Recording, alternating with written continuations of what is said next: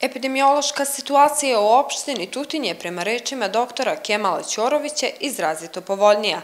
Registruje se mali broj novozaraženih. Na osnovu podataka koje dobijamo iz COVID ambulante od ukupno u posljednjih e, sedmicu dana, dakle u toku prošle sedmice, imamo e, 140 urađenih e, testova na COVID-19. Od tog broja e, negde oko 6 do 8 e, je e, građana samo zaraženo sa COVID-19.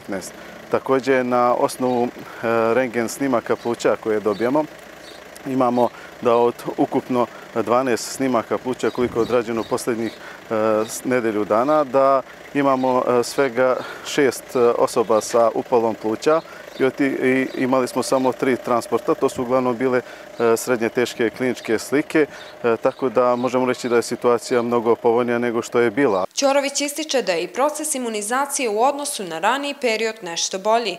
Formiranje vakcinalnih punktova u mesnim centrima doprinelo je da se svest kod građana i tekako poboljša, a broj vakcinisanih iz dana u dan povećava.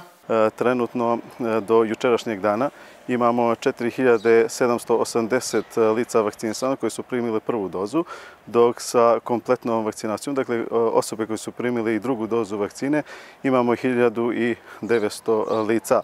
Vakcinacija teče u najboljem redu. Iz ove zdravstvene ustanove pozivaju građane na poštovanje preventivnih mera zaštite, kao i na vakcinaciju, jer će se, kako kažu, samo na taj način pobediti virus.